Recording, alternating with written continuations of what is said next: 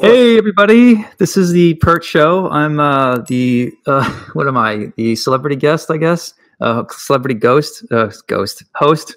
I'm doing really well so far, aren't I?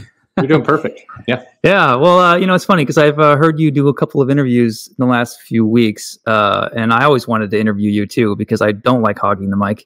Uh, so I shot you a bunch of questions, and I thought it would be fun if uh, I just picked your brain for a while and asked you a bunch of stuff that no one really asks or thinks to ask you. That sounds sounds awkward and fun. let's let's give this a shot. I, I don't understand. Nobody's going to want to listen to this, but thank you very much for teeing it up. Yeah, we'll we'll have some laughs. Don't worry about it. Uh, I did send you a list of questions of where I would be headed, but I'm going to throw you a curveball first. Is uh, oh beautiful. I want you and I are both big fans of Henry Rollins. Yes, absolutely. Uh, do you want to uh, explain to the viewers who Henry Rollins is for those who don't know?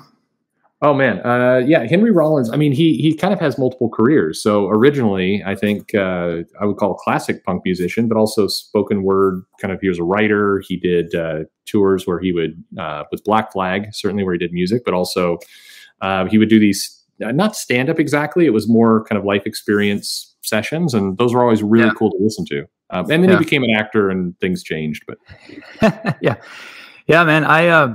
I'm curious how you came across him because uh, whenever I meet someone that's really into Henry Rollins, it's like usually a good bet that we align on a lot of things because you can't be thoughtless if you're a Henry Rollins fan. You can't be weak. You can't be dumb. You have to be curious. You have to be slightly aggressive in a healthy way.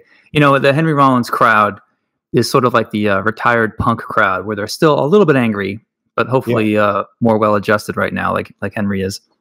I hope so. Um, I, I, mean, it's it's funny. I, have mentioned this to people recently, and I think people who have a view of him from the last ten years, they they have a very different impression of, yeah. of what he's about. But uh, you go back and read some of his books. I mean, they're raw. Is is the thing. I mean, he was. yeah. Give these experiences, and I, I, catch myself saying things every now and then. I clearly are coming from the memory hole of like 25 years ago. Um, you know, yeah. I, I, will always think it's it's the Rock Chicks. It's C H I X Chicks. Yeah, I go to that one a lot too when I'm drunk. I'm talking about Rock Chicks. Yeah, or, exactly. And, and, so there's these little things like that. But I, I think I um, University of Colorado, I think was where I, I, saw him. I know at a college campus, um, and he was yeah. doing one of his spoken word bits, and and yeah. I've seen a bunch of those. I've seen less of his music, uh, actually. Yeah, you know, it's funny. Uh, I really wanted to like his music. I mm-hmm. really I bought all of his records and I tried even on the word I say records now instead of CDs or albums because that's how Henry used to say it. Like people think I'm yep. some kind of boomer, but it's I'm yeah. Um, but yeah, I, I bought some of his records and I really tried to get into his stuff. And I, I found his spoken word very intelligent. I found his lyrics pretty sophomoric. And I, I totally don't know agree. what the disconnect is. And now I, I did see an interview with him. It was over 10 years ago where someone is saying they're fanboying out on him and they're like, man, no one appreciates your music. One day everyone's going to get it. And he pushes back and he goes, I don't, I don't think so. I, I don't yeah. play an instrument. Like I'm a, I'm an archivist of music. Is he sort of knows what he is, is what I'm trying to say. I think he's somebody's he, he seems comfortable with himself, and I, I completely agree with you. I, I never could fully get into his music, um, even when he had the kind of resurgence later, where it was uh, Rollins yeah. band, and, and, I think Liar was probably his big his big quote unquote hit. Yep. Um, but it never. It always felt very amateur. Um, yeah. Absolutely. Yeah. So yeah. Yeah. Uh, I I found him. I became an atheist, and uh, I was needing something to. F- I needed a new ethos basically, and I ran into him right at the right time. I bought a, a Henry uh, Rollins band record, and I accidentally bought a spoken word, not knowing that they were different. And I put yeah. in, you know, Big Ugly Mouth or whatever it was, and I'm just like, this isn't music. But I'm like, this isn't really comedy either. It's just, I thought spoken word was comedy for people that aren't funny all the time. It was like an artsy way of saying kind of comedy. Yeah. And uh, yeah, for me, it just took off there. Just like his aggressive attitude, his intelligent way of looking at things, and I was putting in some old uh, like uh, uh, stuff like "Get in the Van" and "Big Ugly Mouth," and like he would absolutely be canceled if he said oh, some yeah. of those things today. Like I think 100%. he dropped the N word once, and he did it for a reason. He wasn't just being racist, but he did drop the N word and some other stuff from 1984, which was okay back then, but now not so much. No, absolutely. I mean, I, am looking over at my shelf here, and I've got some of the books up there, and and it, would never fly today. And mm-hmm. I think he's he's made comments like, "Well, I was." I, I, mean, that almost disappointed me of of almost turning his back a little bit on the stuff from before. That you know, I shouldn't have said some of those things, but he absolutely should mm-hmm. have. I mean, it was the right tone yeah. and, and, the right thing. And I, I, he had a lot of good lessons. He, he was a very pragmatic guy uh, yeah. in a lot of ways. I think uh, definitely a lot of my life. I think yeah. he was an influence. Yeah. I noticed in his new stuff, he doesn't swear at all anymore. And I have not found an interview that explains why or what changed. Not that I care either way. I was just curious, you know. He he just he seemed to flip, and it's it was a shame. I, I again I, I think if you go back and you look at some of those old books, uh, you'd be shocked, especially if you think you know who kind of the guy is now. But yeah. how much that stuff is still completely on point today of yeah. yeah. human behavior and everything else. But yeah, anyway, yeah, that's uh, that's cool. It's one of the things we have in common for sure. Yeah. Well, now that we lost everybody, for the ten percent who actually know who Henry Rollins is, perfect. All right. Um, let me get to these questions here. Yeah. Yeah. So, uh, how old are you? Mid forties. Yeah, mid, uh, mid to late forties. Yeah, getting closer to the late, unfortunately. Yeah. Uh, you owned a shop in the '90s. You must have been like 18 years old that happened, right? Um, yep. Yep. Uh, 18, 18 I want to say 18. Yeah, it was it was young, and and the thing is, I, I think a lot of people now look at that and they go, uh, they can't even imagine how that would be. But you, you could do it, especially in a smaller city. And I mean, it was in a small city where I started the first shop down in, in Colorado, but yeah. it was uh, you, you, could you could do it at that age. And comics was one of those businesses you could step into. And I, I no mistake, I had help from my parents for sure, who wanted. I think they were thrilled to support me in doing something that wasn't yeah. going to be you know getting people pregnant. So you know, comic books or shops are excellent for avoiding that. Yeah. Um, you quickly, you mentioned your parents. Uh, mm. You come from a, what kind of background do you come from? Uh, my parents were educators. Uh, I would, but I think so. You know, poor. I guess is the best way to put it. Um, you know, not I, like you.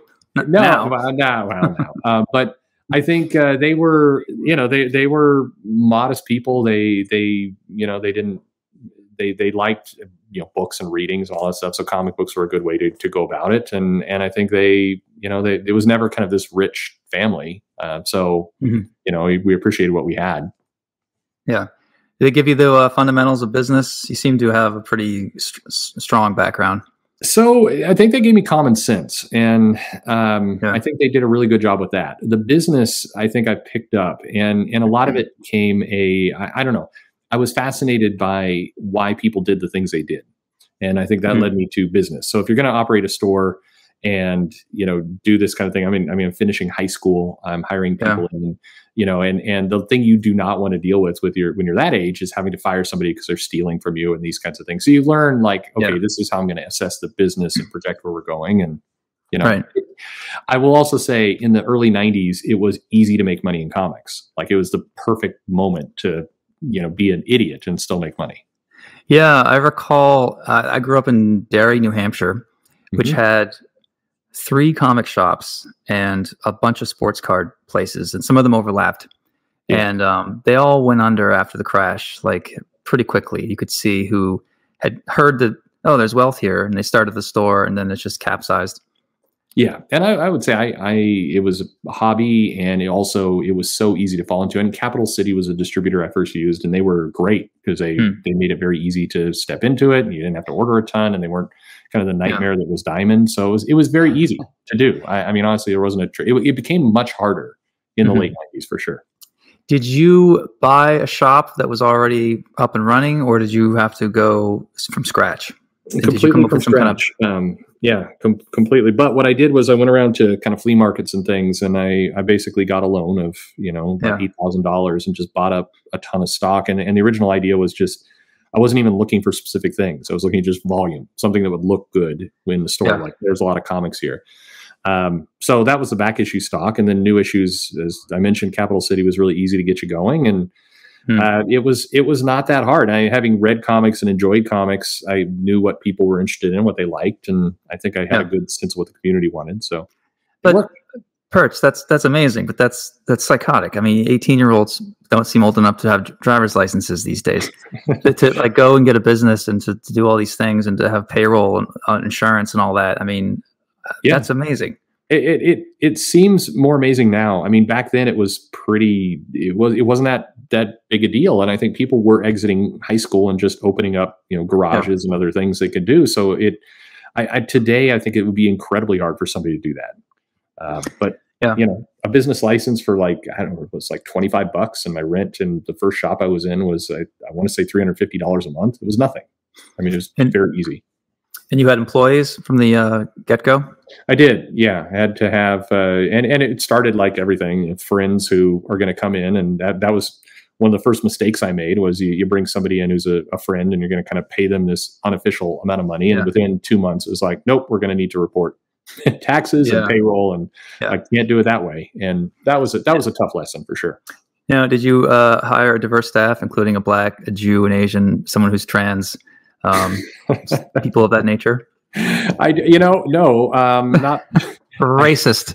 I, I, absolutely yes. I it was you know I, it was funny though. One of the first employees was uh, Latino and gay, and it was it, we got to go through. I mean, there's like these stories within a story, and yeah. uh, he we got to watch him uh, come out of the closet.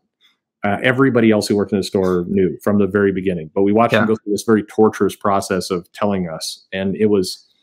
I, I, I remember this moment of like everybody's like, "All right, we're going to be supportive of you." We all knew, like, yeah, what you're saying is surprising at all, but uh, we are here yeah.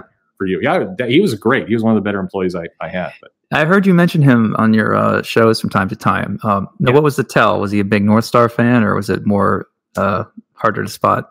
And I, it was that he would talk about how attractive men were. I mean, it was like it wasn't. It, it, it, was it was hilarious when he came out to us because we were like, oh, I thought this happened a long time ago because you yeah. like to talk about. You know, I mean, like he he. This is like the, that time yeah. period. He could be like, ah, oh, man, I, I love. I was watching Rambo and I love it when his shirt's off. I'm like, uh, well, me too. Cool. But it's funny when straight guys have man crushes. It's like I have a man crush on Hugh Jackman because, you know, in my my male power fantasies, that's what I look like. I don't want to fuck you, Jackman. That's the difference. that's the difference. Yeah, yeah. I, I think it's it's man. So many of these conversations were were just in the '90s. Running a shop was so easy. You didn't have any of this stuff. There was no diverse yeah. hiring. It was just like who's going to be good for the shop, and it just worked out. I think my staff yeah. probably was pretty diverse. Um, based on yeah. where I was in Colorado, there was a lot of Latino people who would work there, and yeah, it was fine. Nobody nobody commented on any of it.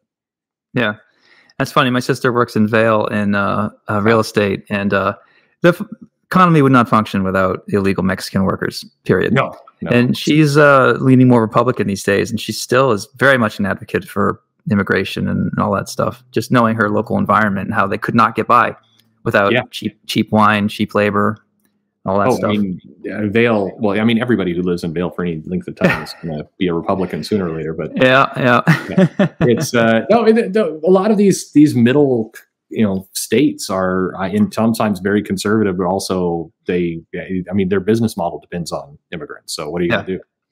A quick uh, side note on Vail. I remember reading a Rob Liefeld Youngblood, Youngblood book where uh, Bedrock or Badrock was skiing in Vail, Hmm. and I had just been there as a kid. And I remember thinking, that is, Rob Liefeld has not been to Vail. It yeah. does not look like this at all. And I know that Rob Liefeld can afford to go to Vail, And it just kind of threw me off. Uh, that was the first bit of doubt I had in Youngblood. That's hilarious, actually. I uh, Vail is what did you in Rob Liefeld. It was yeah. Um, um, when you watched the Clerks, the whole uh, conversation yeah. between about like Death Stars and Stormtroopers, was that at the time? Did that remind you of like, oh, it's kind of like owning a shop?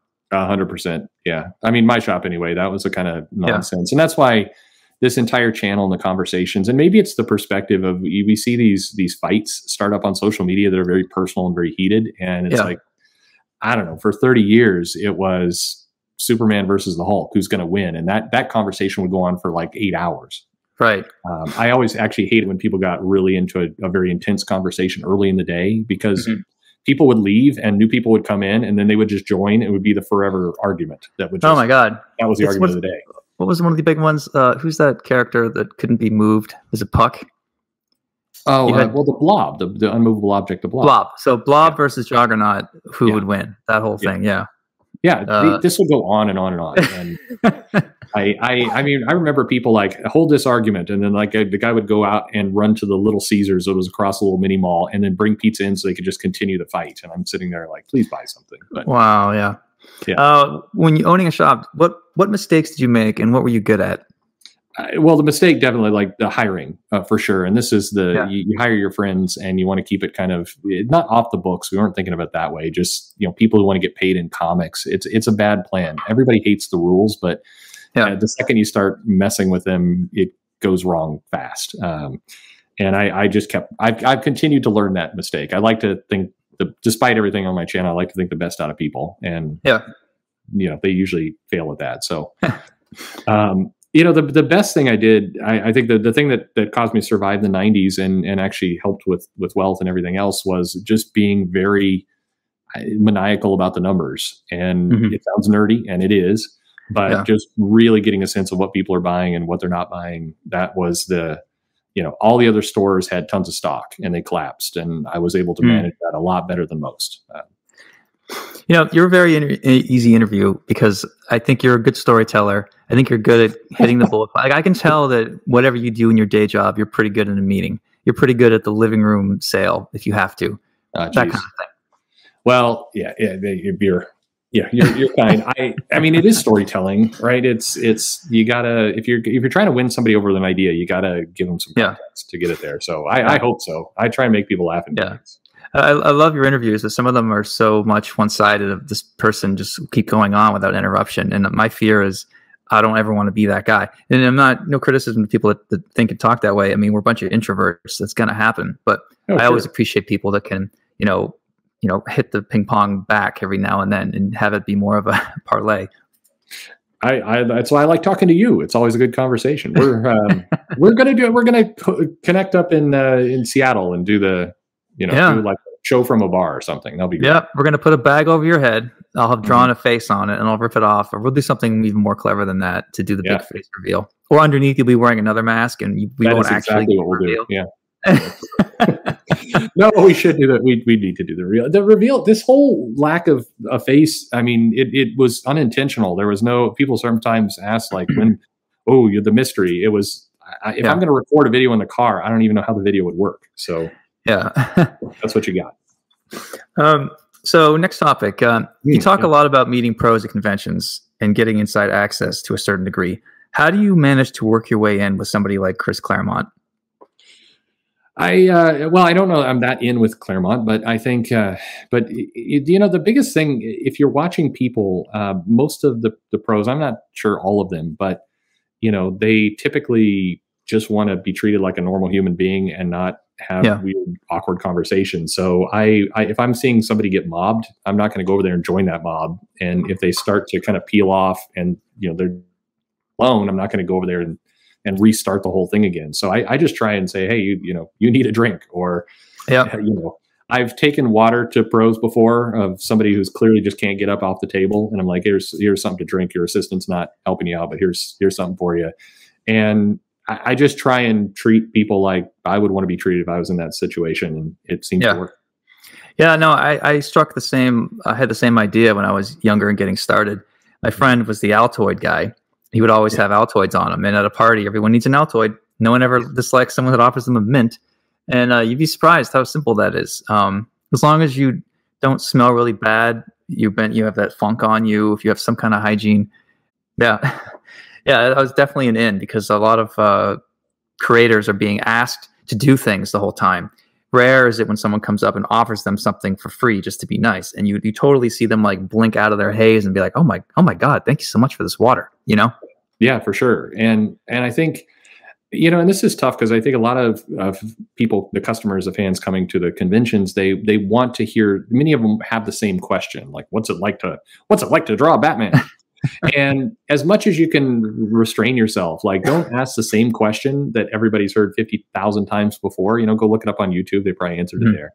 Um, go in with something else. And, and, you know, if you're going to fawn over the person, have it be legit.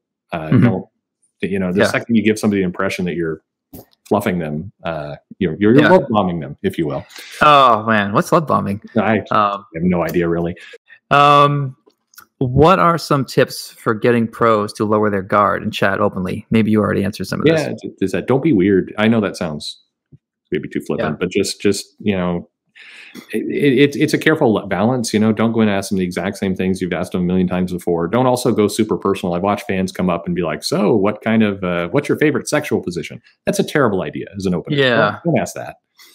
um, you know, no. Uh, and and if you see a pro at a bar, you know, it's okay. It, you know, or or whoever. And and this isn't just for creators. It'd be anybody in the world. Uh, you know, go up if you want and you really want to say hi, say hi, but then make yourself scarce. Don't just hang out and make it weird for them. Make them move. Yeah when I was uh, when I teach younger guys uh, and girls, I, I, say when you're at a bar, I, mostly this is something I tell men, guys, you're way taller and more broad than most women are in a bar. You're mm talking to a female at a comic convention. Don't box her in. Like stand so that your elbow is touching her elbow. So you're both looking out across the bar. Don't box her up against anything. Like you don't realize how, you know, women don't like that. You know. no, no. I, I, mean, yeah. Stay out of their personal space. Don't box them in. Try to be cool.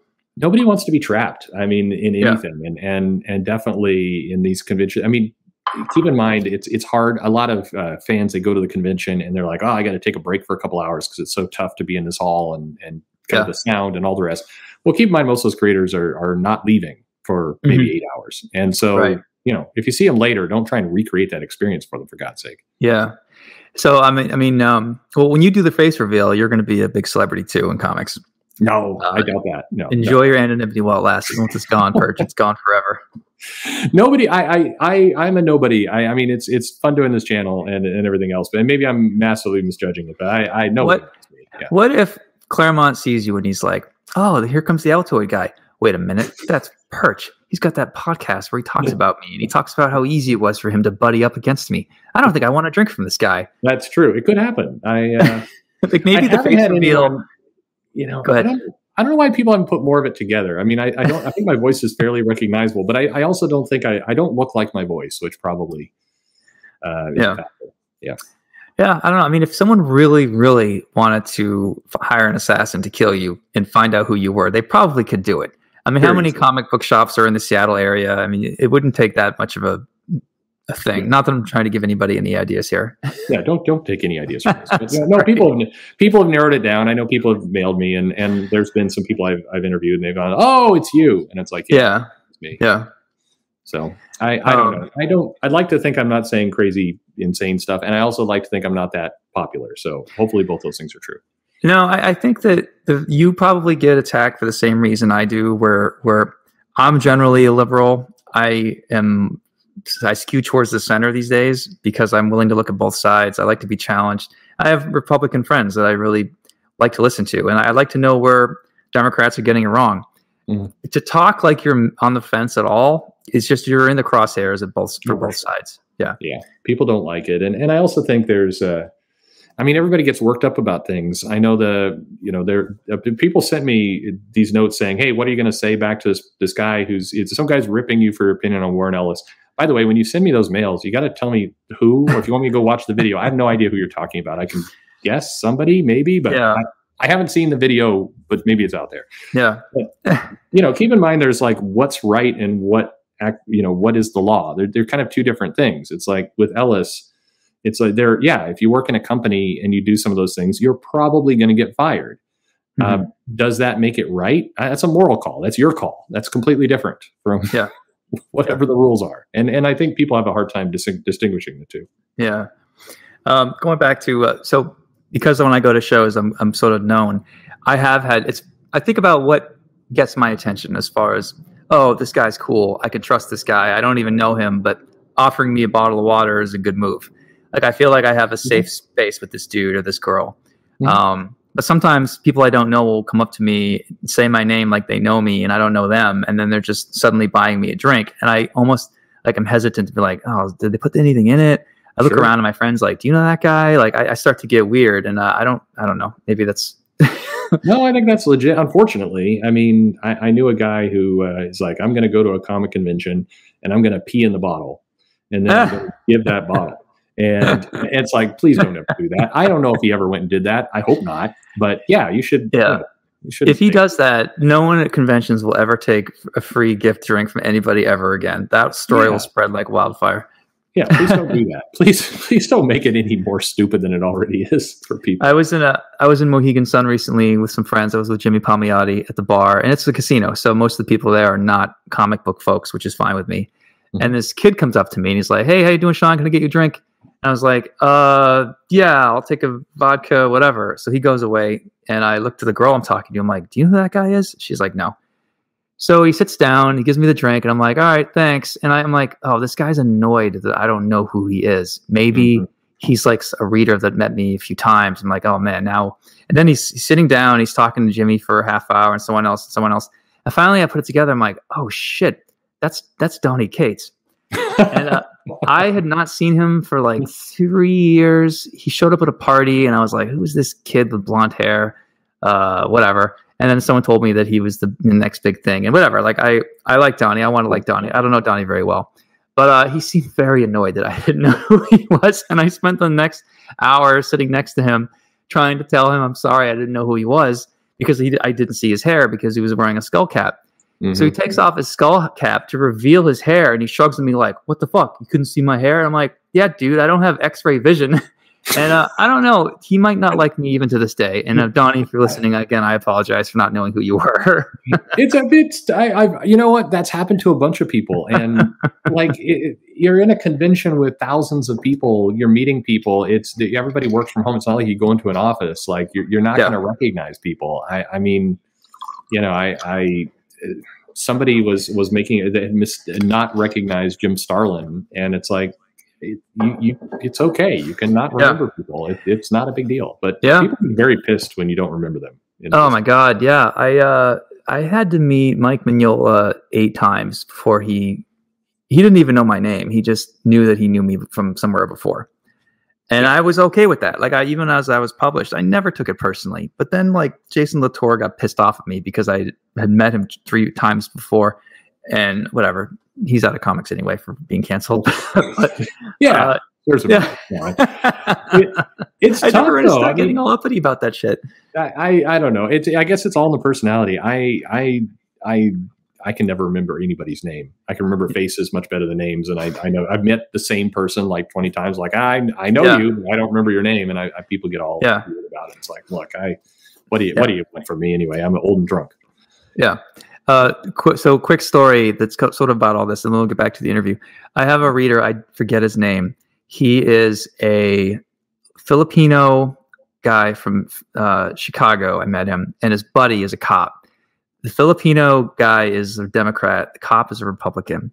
The Filipino guy and his wife can't have kids. His buddy, the cop, agreed to have a kid for them.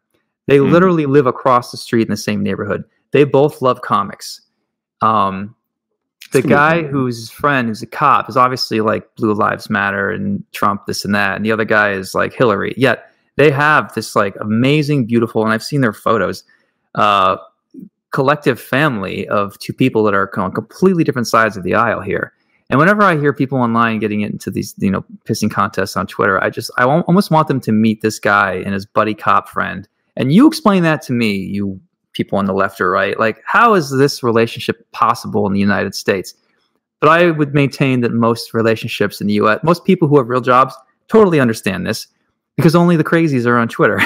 uh, no, absolutely. I mean, my uh, my grandparents was a diehard. You know, she was a grandmother was a diehard Democrat. Grandfather was a diehard Republican. I mean, they were married, and yeah. they made jokes about going to the polls to cancel each other out every time. And it, it, just, I don't know, they they yeah. stayed married. It worked. So yeah, I don't know. It, Twitter is for terrible people. Yeah. Um, okay, so uh, I have a couple questions about con- comic conventions for yeah, you. Uh, what do you think makes a good comic convention? Fresh air. Uh, no, um, space. I, I, think space. I, I you know, the, the, comic conventions. You, you always when you go to ones and there's they they have it spaced out nicely. They've thought about the foot traffic. They've thought about how people are going to queue up for things. Um, it sounds very logistical, but God, it's so much better. And hmm. I notice the creators are happier. The people you go to meet are just in a better mood because they don't feel like yeah. they're crammed in. Like the uh, Emerald City Comic Con in Seattle is one of those places where they badly need to go somewhere else. It's in this terrible venue that's tight and cramped. And every, I, I, noticed by the second or third day, everybody's more pissed. The creators unhappy. I mean, they're yeah. they're doing their best, but nobody wants to be in that tight, yeah. smelly zone. Is that the um, uh, place where it's split into two giant rooms still? Yeah, and, and, then some. I mean, that's where they've got the giant escalators, and it's like the sixth floor building, and you, you just yep, that's it. Yeah, they funnel everybody through this really tight area. And then the last two years ago, the Artist Alley was kind of split into multiple corridors, and it just yeah, you know, if if you have an area where everybody's uncomfortable, then the mood gets bad. The people yeah. are clogging up, and especially now with COVID, I, I don't know what this year is going to be like. Yeah, yeah, I was. Uh, I was hoping to bump into you in New York, uh, you and Joe, for us to talk and have a, a powwow and talk about business stuff anymore. Yeah. Um, but uh, sadly, you're not able to. You'll make it. You'll be missed. I'll send you a selfie with me and Joe Corallo. Please do. Yes, I uh, no. I'm, I'm going to be. I'm very frustrated because there, there's some business for us to talk about. Um.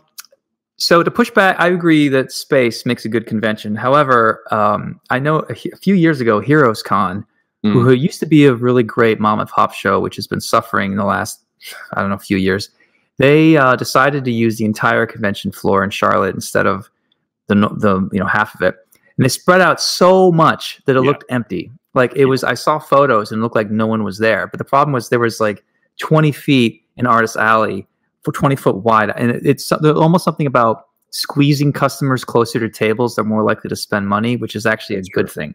Yeah, no, that's true. I, I, mean, I think you can't make it look desolate. Um, yeah. This con that just went on in in Puyallup up here in Washington. Uh, I mean, part of it's COVID now, but they're spreading everybody. But the Artist Alley looked weird because yeah. it was spread out, and I'm sure people spent less as, as a result. So I, there's a balance in between. Um, mm. I don't, I don't, you know, I, I think New York does a pretty good job. Actually, I think Chicago does a pretty good job. Yeah, it's funny when uh, New York because I was like I lived in Brooklyn for a while, and that was my home show for a bit and when they had the uh, side artist alley um, hangar, mm-hmm. people were pissed, like, "Oh, we're not as good as Hollywood and PlayStation, so they're just going to stick us over here." This, and then after that first uh, show, it was like, "This is amazing." Only people who care about comics are coming over here. If you're coming through this hallway, this crazy bottleneck that they are fixing, uh, you're going to spend money. So in a way, it started out being negative, but then at the end, at the end of the day, everybody changed their minds and decided that this was pretty awesome. yeah, I, I, I, and I definitely think there's proof that they spend a lot more money there um, in yeah. that format. You get the right customers to the right place. I, I don't really like San Diego. You've been to San Diego, right? Not in ten years. Yeah, I try not to go. It used to be a show where you could get work done uh, and make deals, but it just became so incestuous that I, I just didn't have patience for it rightly or wrongly. I don't know. I uh, I love the I love everything around the show. I like the gas lamp. I like uh, going mm. to Hard Rock and getting a villa up at the top there, and you can bring people in, and it's a little bit more private. That's a great thing to do. Yeah. Um, but I, I, hate the show itself. I, I like everything yeah. around the show. Um, right. Yeah. Uh, what's the uh, rooftop bar there? Is it the Hyatt? Uh, let's see. It was the Ivy, and then I think it became the Andaz. Uh, or, or sorry, do you mean outdoor or indoor rooftop? Uh, indoor, there was a party where Frank Miller almost accidentally fell off a ledge. That is the, I think that was the Hyatt. It's funny that you um, kind of already know the story. yeah. No, yeah, that never, uh, that that story went around actually. Do you want to tell it? no, no, please. By all means, I'm talking. To uh, well, I probably heard it third hand. Um, but there's a party in San Diego, and Frank Miller is sitting on a windowsill near an open window, and it was the type of thing where if he leaned out, he could have just fallen 30 stories or whatever. Mm-hmm. Uh, and um, he almost dropped something or he almost he slipped backwards and he caught himself and everybody kind of laughed like, oh, that was close. And then it set in that he almost plummeted to his death. And then the party became very dour after that. Yes.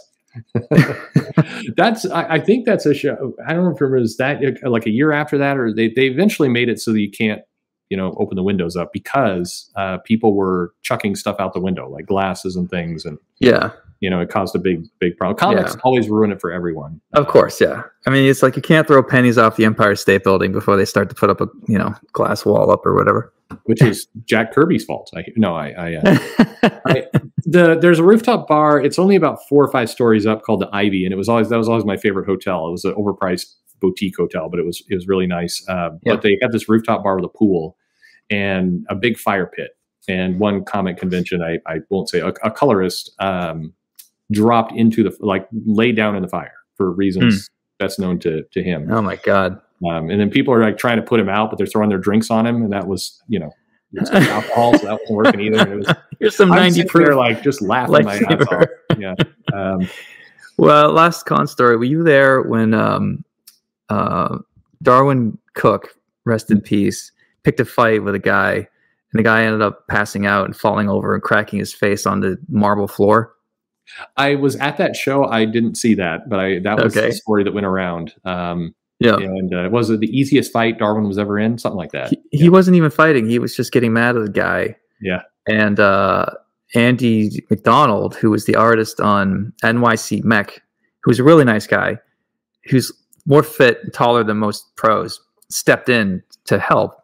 And there was no fight, but his he got his blood worked up so much getting ready to Hulk out, and then there was no reason for him to Hulk out. He just passed out.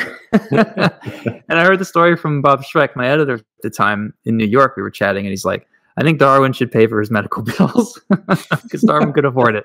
I'm not sure if he did or not, but uh, I think he cracked his jaw on the, on the yeah, they called the Covenant an ambulance. It, it's funny because there's a show, um, New York's coming up. I'm leaving tomorrow, and mm-hmm. there's a, I don't know if you've heard uh, Perch, but there's an event called Scottober. Yes, Scottober. When are we getting uh, Seanvember? Uh, I don't know if I would allow a company to market me like that because I would be so embarrassed. I would bet Scott's not loving that. I, I, may be wrong, but yeah, I would bet. Well, so, so I, I'm, I'm, I can see both sides. If I, I, at first I'm like, that's, and I love Scott. Scott's a friend, but at first I'm like, that's stupid. Why would you call it that? But if Comixology came to me and they're like, listen, man, we gave you all this money to do eight books. Everyone in our office is super jazzed by this. This is a big deal for us. We mm-hmm. want to throw you a party. We want to call it Sean Tober. We want you to fucking show up. Yeah. As a capitalist, as a leader, I would have to say, okay, sure. But I would try to backpedal that every minute I got. Like, oh, can we invite other people? Can we share the spotlight? Like, do we really have to be on a throne with a scepter in the middle of the party the whole time? I, I would have pushed back on it big time. I don't know if Scott is. I, I don't know. I, I I would uh, I would have to go one. I would try. I would do what you do. I would try to backpedal. I mean, I'll never be in this situation. You you you actually there's a chance you will be. So uh, but if you couldn't backpedal, then I would go hard the other direction. I'd be like, all right, we are going to get a scepter and we are going to get a little throne here. And I'm going to make this the most awkward thing in the, in the entire world.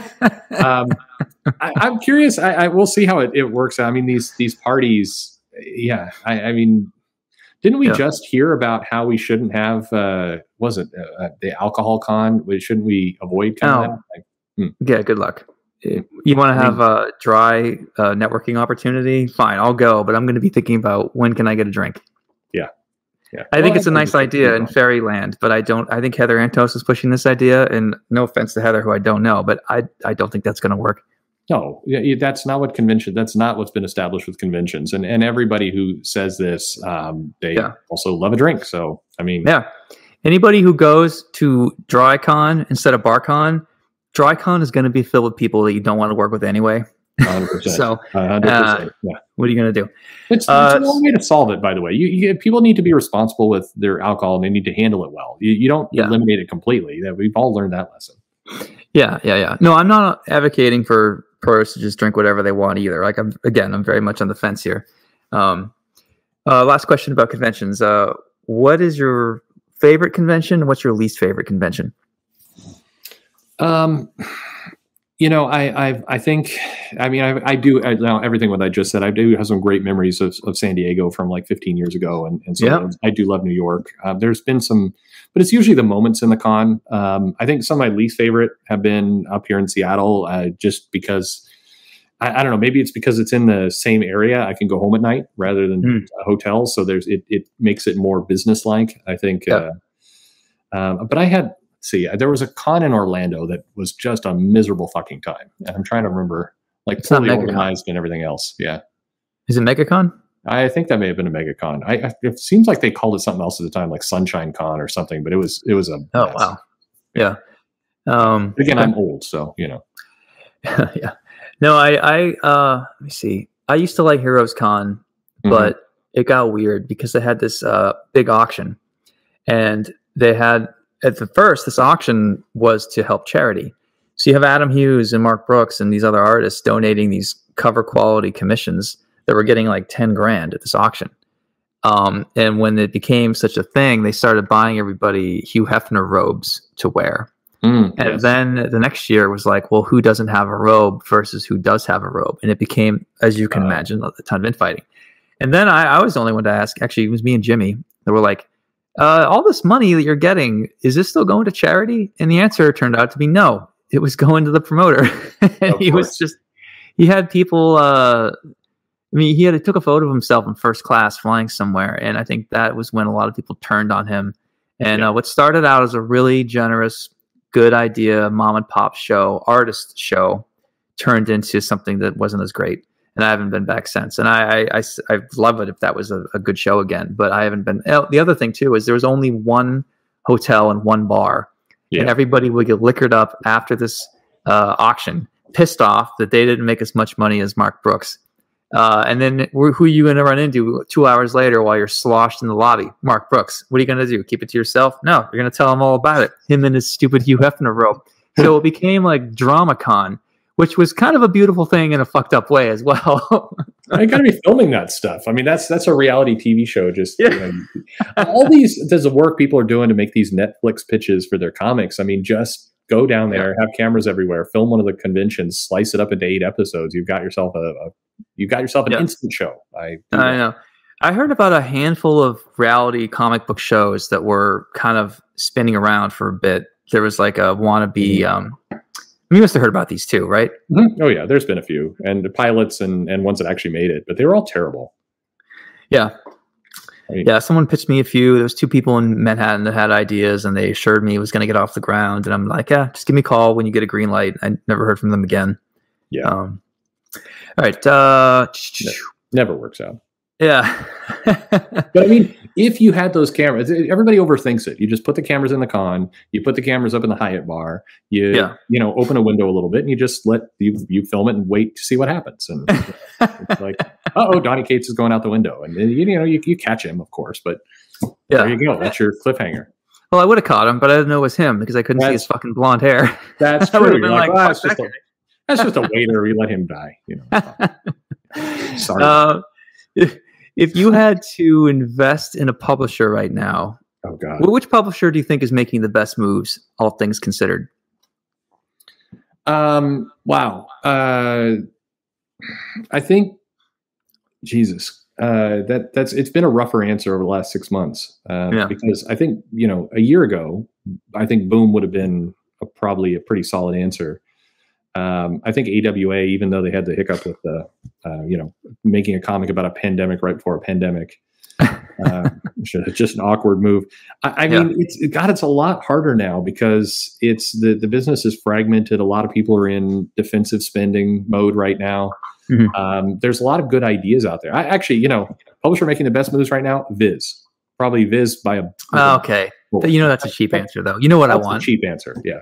I'm looking for Dark Horse, Boom, IDW, Marvel, DC, Image. Well, it's it's it's uh let's see. We'll we'll we'll take the big two off the table for the moment. Um, okay. That's fair. I mean, Image, you know, they're they're uh, again they're they're putting out too many books. I mean, they're they're putting out a mass strategy right now, which I think is starting to fold in on itself. I mean, I, I was uh, visiting a friend at a comic shop a couple days ago and just these massive stacks of these image books by big creators, by uh, hmm. you know, by James and by Scott and by kind of the you know Al Ewing and these others, and they just have huge stacks on the shelves. And, and the answer was there's too many of them. They're just it's just yeah. it's it's like the image in the early '90s. We can't keep up. Yeah. Um, Boom has gone a little quiet. I think uh, they're probably making some good licensing deals right now, so that's mm-hmm. that's probably still a decent pick. IDW is. Uh, terrifying to me. I, I, I would love to see them kind of dip out and, and go back up, but uh, that's, yeah. that's a scary place to be right now. I, I, I lost two editors to IDW, uh, so I. I, can't say yeah.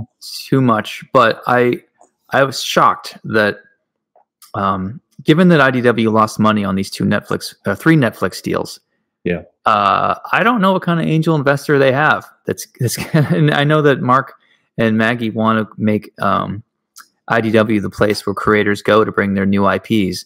I, I get that would be super nice, of course, but I mm-hmm. don't know how they're going to get there, and I, I don't know if when they came up with this plan, if they knew that IDW was going to be ditching Diamond or all the other bad news that's happened since then. Like I don't know how real, realistic that plan is. I mean, if they could pull it off, and and Mark is is great, Maggie is great, so I hope they yes. can. And if that's yeah. what they're doing, then um, I you know they'll rocket as crazy as it sounds, they'll rocket up the list. Um, yeah, and I would happily join that team as a as a loyal you know friend of theirs. I would absolutely partake in that, assuming mm-hmm. I can see that there's some something there. Go yeah. ahead. I no, I hope I hope they I hope they can. Um, I think that Image has got themselves in a little bit of a corner. I think again, Boom is is definitely pursuing a licensing strategy right now, and that that probably is where they need to be. I guess uh, Dark Horse is is kind of is who they are. Um, I know that there was a, li- a lot of rumors that they were going to get bought uh, about a year mm-hmm. and a half ago, like really good rumors, but they uh, you know they're they're still around. Obviously, I mean, if if IDW could pull something like that off, I think it would be great. Um, yeah. I just I don't know how realistic that is right now. Yeah, you know the funny thing of a lot of this these people is people who work in these offices they get sucked in by the cultural environment mm-hmm. and they don't they don't they can't even admit when their own bosses are possibly missing something or doing something wrong. Like they can't see the forest through the trees. And I think a lot of the people I work with are very smart. But I, I had a marketing person tell me why Tom King's Batman Catwoman marriage fake out was a good idea. And hmm. for an hour, she went on telling me how there's no such thing as bad press. and I'm like, I, I'm sorry, I, you Tom's career might not ever be the same. You pissed off a lot of stores. Like I, I, I get that you want to put a positive spin on this, but like, what the hell are you talking about? you know? No, I, I agree. I, I, mean that that's an old kind of myth. This idea that that yeah. you know there's no bad marketing. I mean, you look at you know, and, not to go too deep into it, but you look at a guy like Tom King. I think he was positioned certainly before yeah. that that wedding issue to he he would have been the Scott Snyder. He would have been taking that extra whatever the, the steps exactly mm-hmm. mean. He would have been yeah. up a step, yeah. and instead he's doing these um, you know these limited series kind of titles, and it's still good for him. I'm sure he's financially very happy and everything else. But he was at that point where it's like you know be in that place with Snyder and Bendis and some of the other big names that could kind of write their own longer term ticket. Yeah. And this other thing, again, no tears. I'm sure he's making lots of money and he's fine, but yeah, that that moment didn't help. Um, yeah. Yeah. My, my, my litmus test for people uh, in the office when I meet them is what do you think DC is missing right now? What do you think they're doing wrong?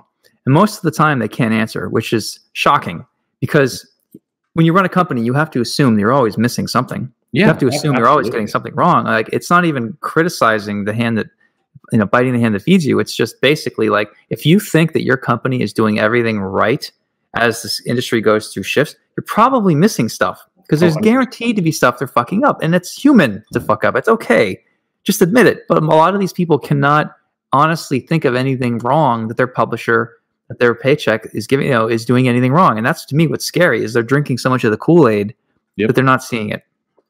No, I mean risk analysis is a real thing. It's a it's a job that yeah. you know, major corporations actually focus on. It's it's the what are we missing? What's going wrong? What's going to yeah. tank us? And the you know apple steve jobs notoriously would be up at night worrying about what he was missing while his company was dominating and yeah. I think that any any group that's sitting there and and you're right I, I, mean i hear this a lot from comics like we're doing everything perfectly I, have heard many editors say this and it's yeah. like i'm buying all your drinks because you can't afford them not everything yeah. is great clearly not everything is great yeah it, it's like they think the industry is 10 they, they they think it still runs the same way it did 15 years ago. Oh, for sure. Yeah. Because they're being fed that lie from the inside. Everything's fine. Don't worry about it. Digital, we'll, we'll figure digital out eventually. Yeah, manga comes and goes. Whatever. Comics are healthy. Dogman sold a lot. What are you worried about? Mm-hmm. It's like you don't understand how much of a threat um, Substack, digital, Kickstarter, Indiegogo. You don't understand how it's changing out there. You've been in the office for too long. You're missing it. And you're not dumb. You're just being fed one narrative. Well, yeah, and and the business has punished people who break the narrative. That's the other problem is is if you do go yeah. and go, well, maybe everything's not perfect. Maybe we should worry right. about some of this stuff. It's like, well, you're not yeah. turning evil on us, are you? I mean, it's it right. it it teaches people to go along with the story and just be very benign about it. And right, it's uh, that's no, it's a major that, problem that's what's so interesting about Nick Spencer and Tynion changing course is they're not act- outwardly criticizing anything, but their actions are a threat. But because they're nice guys and aren't posting bullshit on Twitter or whatever, like you can't really get that mad at them. But their their actions are a massive criticism of what's going on right now, and it's like yeah, I don't know. It's good to see them doing that because I like a disruptor as much as you do. I, I, the industry is healthier with disruption. It needs to yeah. people need to get in there and need to try different things. So I'm glad they are. And and when people try new things, is the other lesson the comic industry needs to learn is yeah. some of those things are going to fail miserably, and that's yeah. an, that's a good thing. It's good to right. learn. You know, don't be scared. Um, let's imagine you've had like six drinks and you're really drunk, and I need you to answer this question very quickly. Which publisher would you like to disappear completely? Oh. I mean, probably you know, probably Marvel. Honestly. Oh, uh, okay. Wow, this is you said right with drinks. Top. There you go. so obviously that would be catastrophic to the business. It would be painful to a bunch of friends, very close friends of mine, everything else. And I love those characters, a lot of them, and the legacies and everything else. Um, that said, uh, that you know what a lot of people don't talk about is that like for 30 years or so, Marvel has had the rep of being the arrogant publisher. Hmm. It's mm. that's just kind of their that they've and they've carried it with it as they've had changes in you know in in the editor in chief and and the other people they've they've always had this reputation of being kind of the one that was annoying to work with, the one that mm-hmm. looked down on other people. And there's been a comeuppance that's been needed for a long time for that company. So, uh, you know, so I, again, I asked you, you, I asked, I answered you quickly, like I'd had a lot of drinks. Um, I love it. No, thank yeah, you. You did what I asked. Thank you. But I would hate it. I mean, I, I, mean, what I would hope is that it would fold, and then Disney would be like, "All right, well, we guess we got to farm off these properties to somebody else, and who's going to step up and kind of take yeah. it from here?" And then that would be the rebirth of you know a better company. So yeah, I pissed so many people off that answer. Yeah, I thought you were going to say like Avatar or uh, Tidal Wave or one of these co- publishers that burns people constantly. well, I mean, yeah, I mean, well, for sure. I mean, the, the funny thing is, those people are going to, you know, burn themselves. I mean, I, yeah. I, it's in many cases, I just step out of the way and they'll take care of it on their own. But right, um, definitely there are dodgy small publishers that deserve it. But yeah, um, I, I don't know. Uh, swing for the fences on that. What are your favorite topics to discuss with fans, readers, customers, and pros? I, you know, I, I think kind of the how ideas were made. I, I think when we talk about comics and and some of these big storylines, people will say things like, "Oh, do you remember this storyline or do you remember this moment? And this was a cool moment, wasn't it?" And the thing I like to always talk about is like, what what were the five things that led you to this? Like when I'm mm. talking to to Claremont, it's like, why, what what was the what's the backstory to getting to when you did the the great the you know Dark Phoenix saga? What what was what was going on? And in many cases, the answer, which I liked, is yeah business. It's it's cold and calculated. It's like, well, we needed something to fill a number in the you know late summer of yeah. '78, and it's like that. That's an interesting answer. Uh, it's it's yeah. like the death of Superman came about because there was this Lois and Clark show, and they wanted to do something to kind of attach itself to that. And I'm just yeah. fascinated by that stuff. Yeah, it's funny the um the behind the scenes answers can seem dull to a lot of people, but if you know what you're talking about, I think they become very fascinating. And if you have a good uh, understanding of business and branding and marketing, you could talk to Claremont, like him talking about the decision to do, you know, this Phoenix Saga. You want to hear something really deep and inspirational, you know, that gives you something to take with you for the rest of your life. When you hear that it's just a numbers game and it was a last minute decision, but he still made it really good, like I don't mm-hmm. think that's upsetting at all. Like I think that's just as good. But I know that's not what people want to hear from him, you know. Oh, for sure. And but that's that is the kind of stuff I I I just I love hearing that part of the story. I love it where you can see something that is full on art. Yeah. And it comes out of a very cold, calculated business decision. And so, how did you go from this this silly technical mandate to, you know, Kraven's Last Hunt? How did mm-hmm. you how did you get there? And and that kind of stuff. I love having those conversations. And I find that at least the creators I talk to like having those conversations too. It's mm-hmm. they don't usually get asked those questions. They they get asked like, yeah, you know, what do you think of Kraven? He's got a you know animal skin on him. Is he vegan? It's like, uh, yeah, okay, yeah. Uh, what topics do you try to avoid at conventions? Uh, anything to do with kind of online fan silliness or customers. I mean, any of that. Um, yeah. And it's it's because it's it's so uh, it's just so baited. Uh, so there's so much that is buried in there. Uh, you can't yeah. have a good conversation. And and I mean, uh, it, with some exceptions, I think yourself, uh, Jeff Thorne. I think uh, you know I, I've been able to have some really good conversations about kind of the nuance of it. Yeah. But a lot of cases, it's it's uh, you know, and I, there's one creator in general, writer who always wants to talk about. It's like, hey, how about those uh, terrible fans who bullied Heather Antos? And it's like, I, I don't, I don't know what to say to that conversation. You know, yeah. been said eight thousand times already. It's yeah. What are you going to do? Yeah. No, my I, I wish I wasn't like this, but my favorite, well, my go-to um, topic of conversation with most people these days is why is the left losing its mind? and I say that as part of the club. Like I, I, I, care about liberal issues, but when I see my radical liberal friends, like I, I can't help but con- and there's never there's a never ending plethora of ex- new stories, dumb things, and things that abandon readers.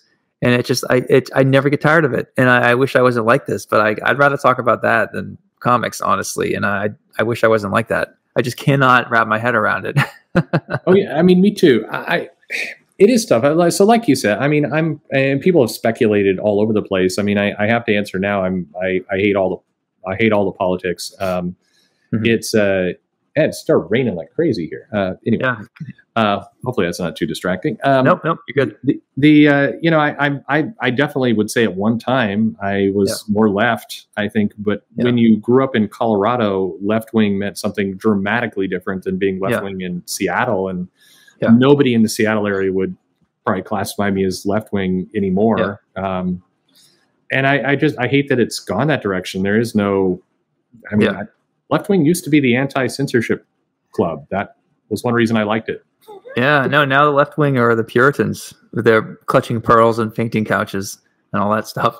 yeah, I don't get it. Um, I don't get why that's changed, when that's changed. Well, I mean, you know, it, yeah. there's that's a whole other topic, but it's yeah. a great one to talk over with people. I just can't, you know, you're you're in the club. I, I think me coming from the outside trying to have that conversation would never work. Yeah, I mean, all my friends in comics are devout liberals. They're convinced AOC is going to be the next president. Um, mm. it, yeah, and I'm the only one that pushes back. And again, like I, I am a liberal too, but I'm like a seven out of ten, and they're all ten out of ten. And I just get hammered for daring to question AOC or pointing out dumb things she says. Uh, and I, uh, man, it's it's pretty thankless being in the middle, being on the oh, fence, yeah. right? it definitely is, but it's it's the only way you can operate. I mean, that's the the funny part about it is I think the the hardcore ideologues they don't get anything done. I mean, yeah, yeah. Um, it's God, what a what a terrible time. This is yeah. again why I, I I should be in New York with you and having a drink. That's yeah, yeah. No, um, I uh, a year ago, I when the uh, blue uh, protests were happening, mm-hmm. I go on Twitter. It was right before I quit, and uh, I, I see everybody saying all cops are racist, all cops are bad, all cops this, that. Uh, and I have friends that are cops. I have readers that are cops, and I know that all cops are not bad and racist. I know a lot of black cops that clearly aren't racist.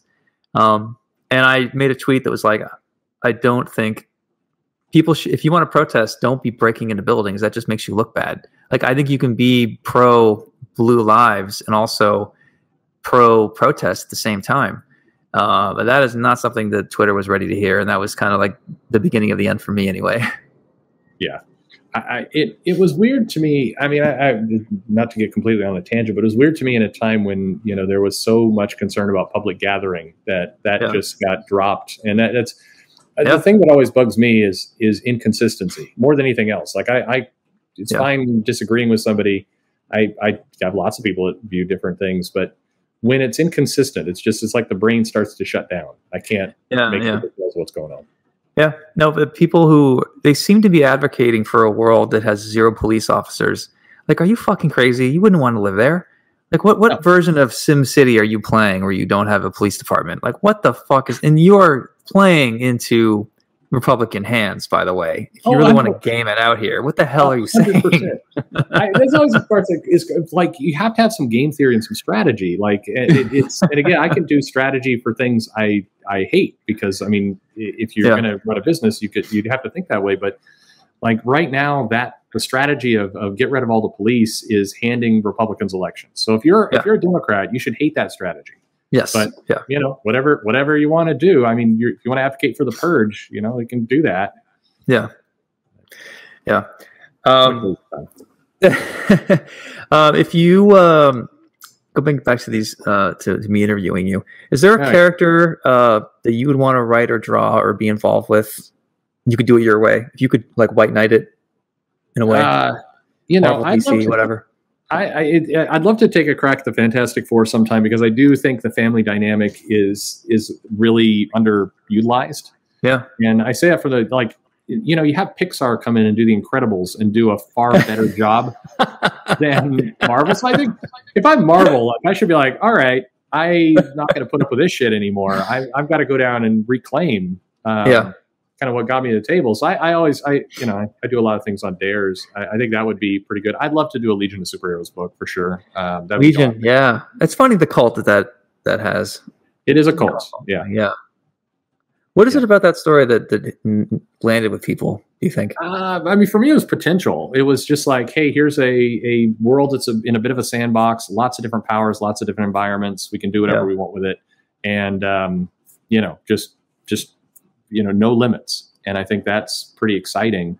Yeah, um, it's also one of those kind of like Fantastic Four where it's lived down to its potential um, quite a lot lately. So, mm-hmm.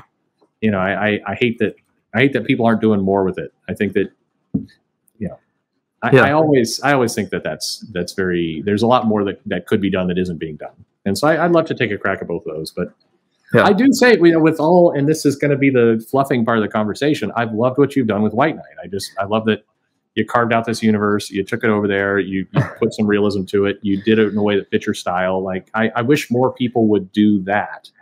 Um, rather than no, try and kind of really merge it. So you did great. No, I appreciate that, man. Thank you. Um, it's funny. I got into a de- debate with a, a famous uh, artist because he won an Eisner, and I was telling him I don't care about Eisners, and he got upset. Um, full disclosure, I've I've won two Eisners. I did not go to the ceremony, and I don't think I'll ever get nominated ever again because I just don't care. Um, but uh, fuck, I just lost my train of thought. This is when you can tell the vodka is hitting. Perfect. No, I, I it, the funny thing about the Eisners is like I have a ton of respect for Will Eisner. I mean, I, yeah. I think the I, I, wish the awards actually had more to do with him somehow than what they yeah. are. Yeah, like the um the woman. It's funny because like I, people don't seem to know how the Eisners work. They just because it's the biggest ceremony in comics, we just assume that it's you know run really well and run logically. And, you know, you like to think there's no politics, but of course there are. And I know that there have been books that have been nominated because they were quote unquote woke. Uh, even though the woman that runs the Eisners is very Republican. Yeah. Um, right. And people don't realize like they don't they they read and they pick from what's been submitted. If your editor didn't submit your book, you won't get nominated for an Eisner unless a judge really goes out of their way to advocate for your book and they have to read like I don't know a ton of books in a weekend or something like that and decide. You know more about it than I do, Perch. No, you're you're absolutely right. It's it's very it's clunky. It's a not even close to representative of what's actually going on. And then people don't yeah. read everything. I mean, they, you get kind of this segmented group of the titles that you're supposed to read. And yeah, I mean, it's a great experience for people who just want to go off and, and read some comics. But I mean, I, I don't think it's it, it's it's very loosely run, and as a result, it I don't know yeah. how meaningful it yeah. is. Like, is there a People's Choice Awards for comics? No, I, I we lost all that stuff. I mean, yeah. I think Wizard used to kind of try and do little things like that, but really, yeah. I mean, that this opens up a whole other topic. But it's it's why the kind of news media or the the comic news media is so such garbage. I mean, it's like there's basic yeah. things that we should have like that. That's definitely a direction I'm happy to go right now. Let me add my own bit to that. Is yep. there's not a lot of capital in comics Therefore, there's not a lot of money to pay people that are decent reporters. If you're a reporter in comics, you're probably doing it for free or because you love it, which is beautiful. However, are you really in an impartial, unbiased, you know, opinion on these things? Are you trying to subscribe to the classic, you know, uh, journalism code? You know, freedom, fair of information. You know, rain, sleet, or snow, whatever the hell it is. mm-hmm. I don't actually think that there's a coda for uh, for reporters. But yeah, when people love to make fun of the comic book media, it's like all the really good reporters are busy working for real media stations, but there's no money in comics, so we get stuck with like fanboys and fangirls who sort of just fill the place, fill the void rather. Absolutely, and and so much of the business is built on can I get some free comics to look at, and so yeah. as soon as you're doing something for free, like what do you think that review is going to be? You know, you're not going to want to turn off that gravy train. So yeah, you know, I, and and it's I, I, mean it's just just goofy. I mean, I, I was looking at uh, a story today where you know this reporter was like posting photos of somebody's car he didn't like with a license plate showing, and I'm like that mm-hmm. just just dodgy shit. Yeah, yeah. You know, um, there's a big writer that I worked with. Uh, it's not Scott. Uh, mm-hmm. this writer lives in the UK, and a reporter from Bleeding oh. Cool took photos of his house, and he reported it to Scotland Yard. And there's currently like a uh, cease and desist or whatever uh, you would call right. it over there.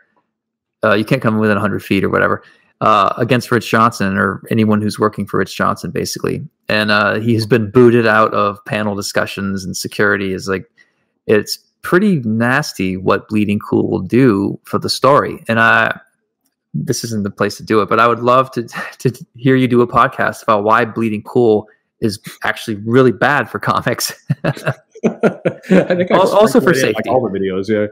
No, I, yeah. I it, it's funny. It's like, oh, I wonder who you could be talking about. Um, yeah, I, I, uh, no, I, I, hate it. I hate it so much. Um, I absolutely hate that kind of stuff. I mean, that's obviously not journalism, and uh, it's yeah. you know, but it but it is indicative of there's not a lot of money in comics, and the people who are in this news media are doing it for. I mean, in, in many cases, it's so I can get free comics, so I can meet people at shows, and yeah. I, I'm I'm part of the business, and it's you know there there is no ethics in any of this, mm-hmm. um, and it, it I mean, I think anyone with any common sense can hear that story and, and things like it. And there's been other stories like that and go, well, that's clearly yep. terribly wrong and terrible. And yeah. nobody should be putting up with that. And right. And yep. we need, we deserve better in comics for that. no, I, uh, one party, I met a girl who worked at Comic Alliance and she was hitting on me pretty hard. And I got uncomfortable and I'm like, listen, I'm married, blah, blah, blah. And she wouldn't let up. And she seemed to give me this impression that she literally told me that she's hooked up with XYZ creators. And this was what mm. she hmm. did. And she's supposed to be an unbiased reporter. You know, and Comic Alliance was known for being very woke and, and all that stuff, which I I think mm-hmm. is a good thing. But she was not doing that. Uh, and then another happens to be female reporter would get sloshed uh, at shows, and her husband would start begging for work from me and Scott Snyder, and it's just like, wow, this these you guys are like the best we have, huh? Yeah. Awesome. like this sucks. We don't have better reporters in this industry. it it it's so um, yeah. I mean, it, it's it's but it's it's all about. And I, I've gotten beaten up a lot uh, over the last couple months of saying we need more money in comics. We should be, get paid more and everything else. And I get yep. why people are adverse to hearing that because they're like, well, I don't want the person I dislike to get paid more.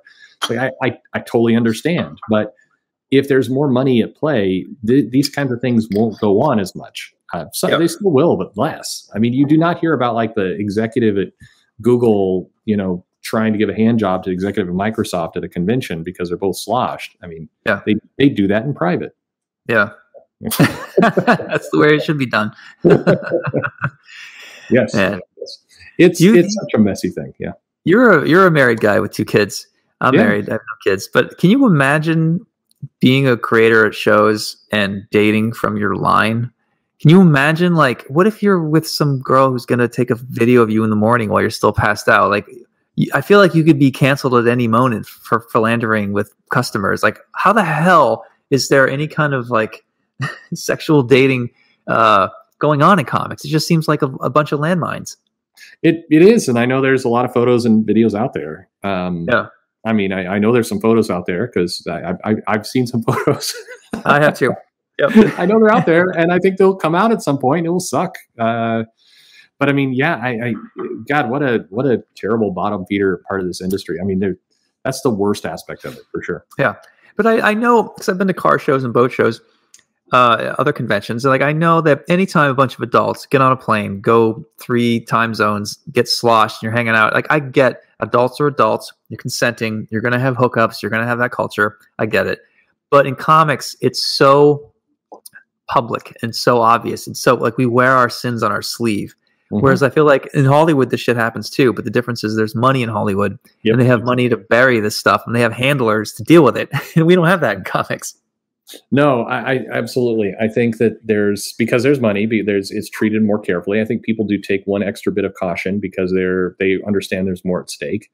Um, yeah. Stuff still happens, of course, and and but it with comics, it's it's almost a sense of pride. I think people have that they are just out there with all this stuff, and yeah, you know, and I, I on one level, kind of back to the very beginning with with Rollins, I appreciate the purity of that. I like that yeah. You know, it is more raw and you can see it happening. But on the other hand, it's it's hard to watch people make mistakes, like really dumb rookie mistakes, over yeah. and over, and over again.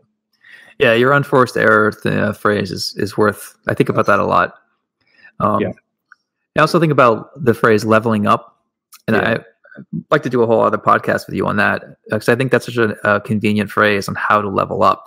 And you know, can, people who are looking for likes feel like they're leveling up, but they're not. And I feel like using the phrase leveling up more and more might actually help creators get out of this maw, assuming they're even mm-hmm. listening. I wish this. Was so I'd love to talk to you about that. I think, uh, yeah.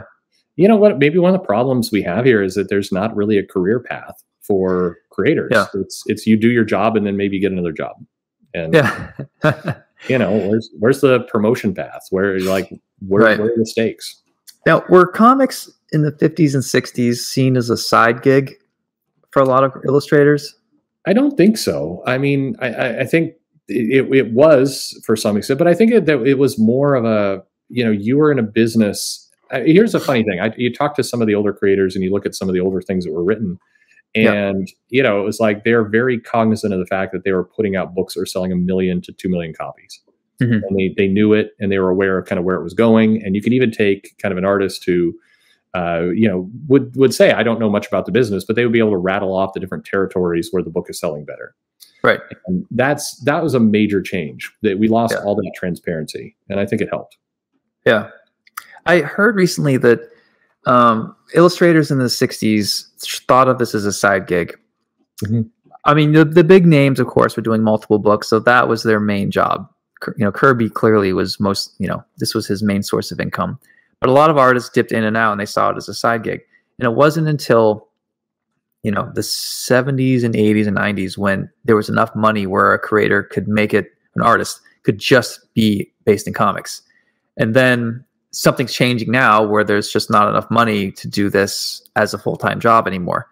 But I don't know if that's true. Is that everything I just said? Does that not line up or what? It, it, it may. I, I, think there's probably a little of both. I, I, mean, I'm sure there were some people in the 60s who had other jobs and other things, but it, I guess the difference is it wasn't considered like I've got a core job and then comics is my, you know, side hustle that I kind of do it in the evenings. It was more like right. I work two jobs and this is one of those two jobs. It was right. maybe slightly different. I, I, I do worry today we're heading into this comics is the, is the thing we do in the night or it's the thing we do if we want to be really really poor and I, those are yeah. terrible options so. yeah yeah uh, i am i don't know if i am scared for the industry or if i'm happy to let it go through growing pains because it's about time and but yeah. my my perspective is like i've sort of conquered my mountain I can go to Kickstarter and make a good living, but I don't. I've sort of gone over the the, the worst speed bumps there are, so I'm going to be fine no matter what because I made a name for myself.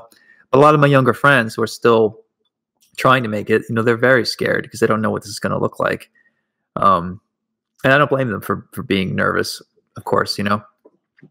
Yeah, I, I think it. I think it's going to be a terrifying time for a lot of people. I think it is necessary, which is no comfort to people who are going to get you know hurt in this process but i, I yeah. do think the next 18 months are going to be really really rough and yeah I, I, the biggest part of it is i think that a lot of things people have believed for 30 years are going to crumble mm-hmm. and that's that's going to be just terrible for people uh, yeah. who you know are going to find the world turns upside down i think the difference between this particular transition that we've from what we've had in the past is that in the past um, people weren't so incredibly rigid in believing what they believe. They they yeah. were ready. They they at least accepted some level of change. Now, right.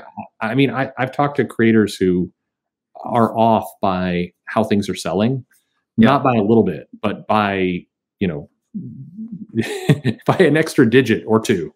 Um, yeah. You know, something is like I I believe that it's you know this is seven figures. It's like mm-hmm. no, it's five, and that's that's a huge difference of yeah. Um, yeah.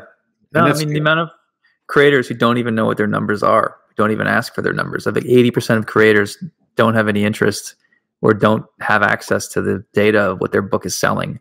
And even if they have the number, they don't know where it lines up, like uh, as far as you know, top ten, top twenty, top hundred. And it's like, this is your job. Why are you asking these questions? It, it's just startling to me. Like I, sometimes in my my worst moments, I think these idiots deserve to get fucked because they're not paying attention. You know, I know.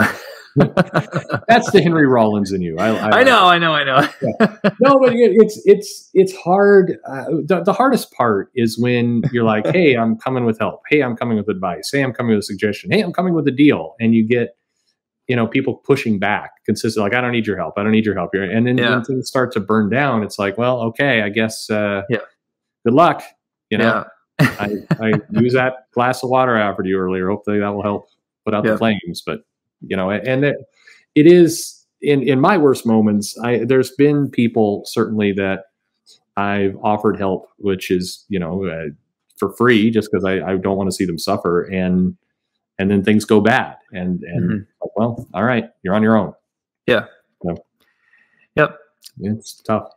But um, but overall, I, you I mean, we both love comics, so you know, I, I, think we'll be okay. I think a lot of people will be okay. It's just yeah. this is going to be a this is going to be a purge. yeah, if you like it, you'll figure it out. If you're dedicated, you'll figure it out. Like it's it's the basic market. It's the capitalism, and it you know all the politics and the the culture war shit aside, the rules are still the same. If you're good at this, you can produce, and you're respectful and consistent or whatever, then you should be able to find your footing. You know. Yeah, I, I think, and the funny thing is comics has a bit of uh, evergreen quality to it. People want entertainment. I understand the whole like oh people won't read books anymore but that's that's proving not to be true. I mean we, we do see yeah. scholastic and manga doing just fine. Um, it, yep. it is it's always there. People like to be entertained. So this should be a very bulletproof industry if yeah. not stupid so a few more. Uh, we'll go to a few lighter questions before we finish up here. Oh, awesome! Uh, but I appreciate you getting into the darker stuff with me because I could do this all night. I don't, don't want to. This is fun. This is why we should just do this. Like have a monthly checkpoint. I, I still, it's super weird. Everybody would rather hear from you than me, but it's still a fun conversation. No, but I think this is a good back and forth going on here. Um, all right, so let's get some fun stuff here. What's your favorite comic book movie from the '90s? Oh, from the '90s. Shit. See, yep. I had my Superman three. I know. All that's, ready to that's go. why I went around that. Damn it. Um, you know, I, I like Blade like everybody else. Um, I'm sure. God, I'm, I'm, forgetting something. I'm forgetting something major. In the '90s, didn't um, God, when did so we got uh, we got Ninja Turtles, we got Rocketeer, Shadow, oh, Batman. Yeah. Um, Blades, of course. Yeah, the Blades. Rocketeer was a solid film. I, I think that holds up. It's it's yeah. fine. Um, what were you going to say? Uh, no, I, am trying. To, oh, always Superman three. Yeah, um, that's that's my guilty pleasure. I, what can I say? Uh, one of my best friends, uh, Mystery Men. That was a solid. I don't know if that counts, but that was fun. That counts. Yeah. Yeah. Um, you know, Crow is good for that goth phase. It, uh, oh my god, I love I love the Crow. I'm yeah. I'm emba- I'm slightly embarrassed, but I'm not. I f- fuck it. It has Henry Rollins on the soundtrack. Yes. What do you want? Yeah, and I'm, I'm a sucker for low budget movies that find creative ways to push through. You know. Yeah, I, I uh, if you're going more for the kid based, I think Iron Giant. If you consider that a superhero movie, I think that that yeah, that is probably one of the best superhero movies. Period. um, what about your favorite Marvel Universe type movie? Uh, let's see. What's the one I enjoyed the most? Um, yeah, you know, for what it was, I thought the first Ant Man was fun. Um, mm-hmm. If we're talking about this new cinematic kind of universe area, uh, let's go from uh, first X Men because I think that the Marvels yeah. thing kind of started with X Men One up to yeah. today. Yeah, first X Men was was a fun film. I mean, it, it it does not hold up, but it was. Uh, I enjoyed that time. Um, God, if we want to go back to that, like those terrible, like Corbin Captain America and the Fantastic Four from the seventies and eighties. I mean, no, no, no. If um, I asked you like your favorite ironic superhero movie, then that would be a good answer. But like you know, Marvel Universe stuff, like the standard, you know, from uh, Iron Man till now, what's your favorite Marvel movie? So Ant Man, you said you liked. Yeah, I did like Ant Man. I, I, thought that was fun. I thought I thought what Gunn did with uh, Guardians was solid um, for yeah. sure. Um, I, I there's there's I think there's been a few. Um, I mean, the, the, funny thing about the Marvel movies, oh, well, I'll put it this way: I thought the payoff for uh, you know Endgame and Infinity War was solid. I mean, it, they built on everything, and it, it had the you know some moments, and it was very manipulative for sure, and it won't yeah. hold up either. But it was nice to see that giant spectacle come to life. Yeah. It's the closest thing we've gotten to seeing like a Secret Wars type everything. Uh, yeah, yeah. No, uh, I'm sort of I kind of want to fast forward ten years from now, where we have this documentary about the Marvel universe in Hollywood and how that happened, what happened. Like, give me the movies that made us. Kind of quick documentary about it. Um, even if you can nitpick some of the movies, the fact is that they did something completely unprecedented. They they took nerdy comics, which people thought were for kids. They used you know modern CGI and all this stuff. They wove this intricate fabric. You know, um, they had a few misses along the way, but most of Marvel's products was at least a B minus or above. Mm-hmm. And they, they did even if you didn't love Endgame, they managed to fit like 50 fucking characters in there and each yeah. give them each a moment and not have the film feel that crowded. Like whether it ever wins an Oscar or whatever, you can say whatever you want against it. Like that is a giant accomplishment that no one has ever accomplished, and you can't take that away from them. Absolutely, no, absolutely, and it's funny because it it did it gave people space. It's funny watching this film. Uh, my daughters were watching Infinity War, and it's like I'm looking at this going, oh man, the scene like where are all the other heroes? Like they, they didn't, and, and it's just funny. My brain now with with the extra shows that they've done and the other characters yeah. they're bringing and everything else. Suddenly it seems small, and it's just it's weird to me. Like the yeah. as a kid, if I thought I would get to see that level of spectacle on a screen, there's I never would have imagined. So I, they they deserve it. Yeah. I think that's been a wild ride with those guys. I mean, obviously, you know, yeah. I was doing some work with Disney during some of this, um, and that was an interesting way to see how that was absorbed by that company. But yeah, yeah, that's a whole other video too. yeah, my wife worked for Disney too. She was in a, mm-hmm. helped re, uh, she helped create the digital uh, photography program that you get in the parks. That's right. Um, you guys have when we all get together, you'll have some stuff to talk about. I we, love we the have a, we have a little crossover there. That's right like the NDAs you have to sign for like uh, all the pedophiles they hire to work inside the costumes creatures and how there's like uh, I think Goofy got ran over by a float one year and they had to Yep. They weren't they wouldn't take his mask off to let him to breathe because it would have shattered the illusion to these children. it's always funny the uh, like in a really hot summer the full character costumes they've got yeah. ice in there and so their their characters walking around they're leaving these wet footprints and it's what's going on in there? It's, I uh, just thought that was semen. Yeah, that's. that's this is this is how City of Bruce happens, right? Like, that. oh my god, no! Well, I'll let my wife tell the full story of it. She was actually at Disney once, uh, and the guy who played the genie cornered her and, and pulled her into a closet with the big fucking scary blue genie head on, and he said some stuff to her that wasn't cool, and it was like that's when she realized a lot of these people they hire for these roles it's like they're fresh out of jail or something. There's something weird going on with these character actors. Yeah, I, I think. Well, yeah, I think there's a lot of a lot of things over there. I, you know, from the heat to the working conditions to the type of person who you know yep. would be okay with wearing a costume all year. I mean, I think a lot of things come into play there. That's true. Yep. Uh, did you ever sign an NDA with Disney? Like, are you contractually not allowed to say certain things right now? I have many NDAs with Disney. Yes. Ah, okay, good to know. Yeah. Damn it! I really want you to open up. That's we'll have a good dinner. cool, man. Oh, that's all I can think of for now. That's fun. Well, let's do this again. questions next time. Let's do this again quickly. Uh, I, mean, this is a lot of fun. I, I love. I mean, again, I, I, apologize to anyone who had to be bored listening to to me, but yeah, this is fun. I like. I love our conversations. No, I love it, man. I think we're we're getting to the root of some stuff here, and uh, I think it's, it's, like it's like you're like a, a, therapist to me. Like I said that many times in the past. Like I need to know that there's someone else in the industry that isn't losing their mind that has a steady hand on the wheel, so to speak. You know, uh, dude, I feel the same way. Um, you know, I'm investing my money into running opening shops, running shops, and all the rest. Like, I, I feel better knowing that the the product producer is not maniacs. So, when when is your shop going to open? Because I want to do a signing. Uh, I, well, we'll definitely take advantage of that. I'm still holding out hope for this year. So by Emerald City okay. Comic Con will be a really great time. I'm, I'm a little terrified. Our governor is going to do an announcement later this week, which just fills right. me with concern. Well, so for everyone listening, I might be doing a signing at Perch's Shop. I think we'll have a face reveal. Yes. That time, but we'll see what the governor says.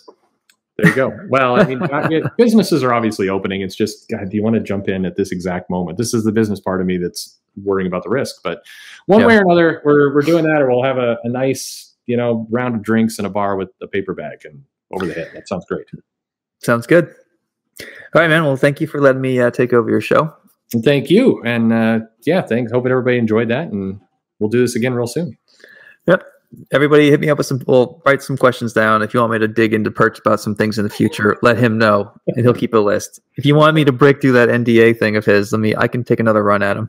We can do it. Yeah, yeah. I'll make. I'll make a list. Trust me, I'm making a list. All right. Thank you very much, Sean. You have a great right. time in New York City. Have a good night, man. Thanks.